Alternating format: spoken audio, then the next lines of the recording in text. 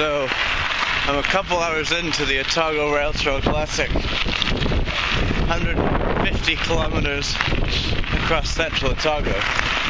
And this is the point of the race that I hate mountain biking. My legs feel like cement. I'm hungry. My calf keeps cramping. And there's 70 k's to go, but it's a stunning day. Fresh dusting of spring snow last night. Not very often you ride the rail trail and you're surrounded by snow.